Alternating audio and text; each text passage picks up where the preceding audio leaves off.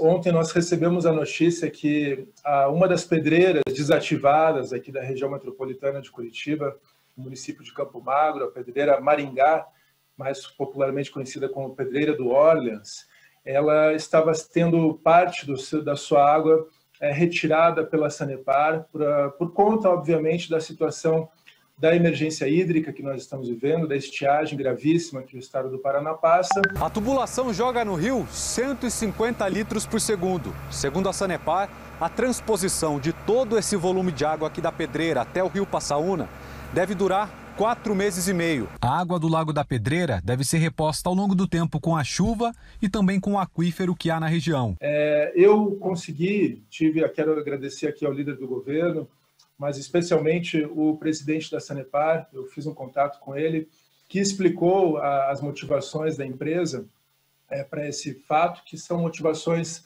é, humanitárias de levar água e abastecimento para as populações carentes aqui da região metropolitana e do município de Curitiba. Porém, é importante que a gente registre que essa pedreira ela já está desativada há bastante tempo e ela é utilizada pelo Corpo de Bombeiros, por profissionais da área da segurança pública, policiais, inclusive, para treinamentos de mergulho. É, ela é mantida, assim, com todos os seus problemas, é, por voluntários que vão lá, mergulhadores. Ela já possui um ecossistema por estar bastante tempo ali é, nessa situação. Então, entendemos as motivações da Cenepar, que obviamente são é, levadas por essa situação drástica que estamos vivendo, porém, e aqui a necessidade de uma política é, de preservação, uma política de conservação. A gente quer aqui fazer esse registro, senhor presidente, deputado Hussein, líder do governo, para que é, a Sanepar, junto com a Secretaria do Meio Ambiente, junto com a Assembleia Legislativa e os municípios da região metropolitana de Curitiba, a gente possa ampliar as áreas de unidade de conservação é, trazendo novas áreas que possam ser utilizadas pela população para o lazer, para a cultura, para o esporte, mas também com o intuito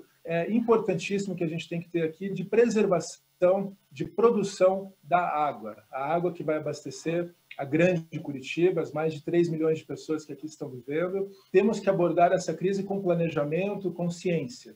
Então, o nosso pedido aqui, a nossa sugestão ao governador Ratinho Júnior é a criação de um grupo de estudos para é, efetivação de novas unidades de conservação na região metropolitana, unidades de conservação estaduais e municipais e particulares também, inclusive, para que a gente possa produzir água e produzir áreas de lazer, de preservação, de ciência, é, com segurança para toda a população. Então, esse é um pedido, eu queria aqui deixar registrado. É, nós estamos encaminhando um ofício a, a Sanepar para que esclareça é, esses motivos, essas motivações e que também tenha sensibilidade para entender é, o outro lado.